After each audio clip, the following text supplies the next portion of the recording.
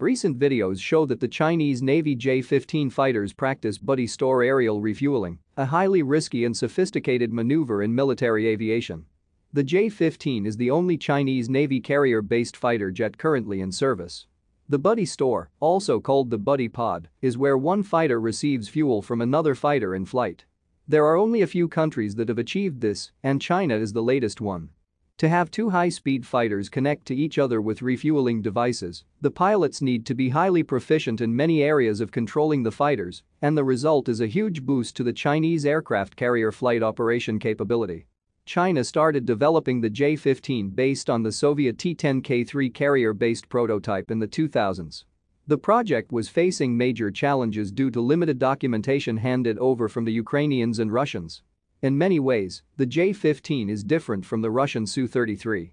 One reason is that the T-10K3 prototype is not the final model of the Su-33 development project.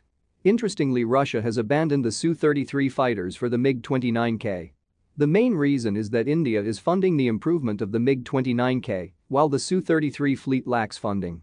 After almost a decade, the J-15 suffered some major setbacks, including control software malfunctions that killed more than one test pilot in test flights. The buddy store refueling method is vital to any naval force operating aircraft carriers. With restrictions on aircraft capacity on board and takeoff weight limits, the aircraft carrier aviation group usually faces a lack of bigger refueling planes, so buddy store becomes a necessity. The U.S. Navy operates a buddy store and flight refueling technique with its current FA-18EF Super Hornet fighters and is likely to extend it to the F-35. The J-15 fighter is believed to be able to carry a UPAZ-1 refueling pod.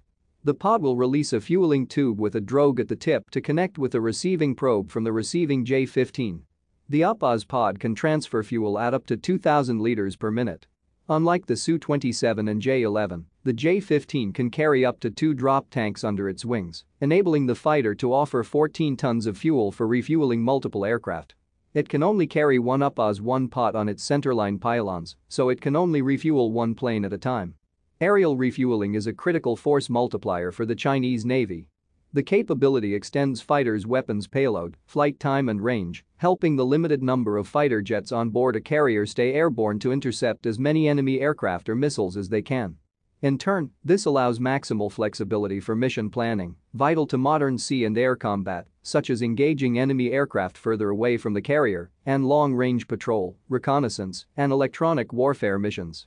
For the Chinese carriers currently in service, aerial refueling capacity can make a huge difference as the carriers are much smaller than the US Nimitz class and can carry only around 24 fighters.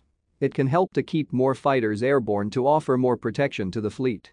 The J-15 is also different from the Chinese-built Su-27, it has canards, a shortened tail sting, folding wing and tail modifications, and, of course, a tail hook. The J-15 retains the best features of the Su-27 a large radar dome, huge internal fuel capacity, and an external payload. According to reports, the J-15 uses the J-11B avionics suite and has a respectable multi-role capability, capable of launching YJ-83K anti-ship missiles and KD-88 ground attack missiles. It appears that the J-15 has not adapted active electronic scan array radar technology, which is already on board the J-10C and J-20. In combat missions, the J-15 typically carries 4 PL-12 active radar-guided air-to-air missiles and 2 PL-8 dogfight missiles. The next generation PL-15 and PL-10 missiles will be added soon, as well as more precision ground attack weapons. The J-15 is to be replaced by the stealthy J-35 fighter currently in testing. And the key opponents are the F-35 and FA-18E Super Hornet. A media report confirms that more J-15s are being built, including a two-seat variant. To work with the newly launched 003 aircraft carrier, the J-15 catapult-launched variant has been in tests for a few years.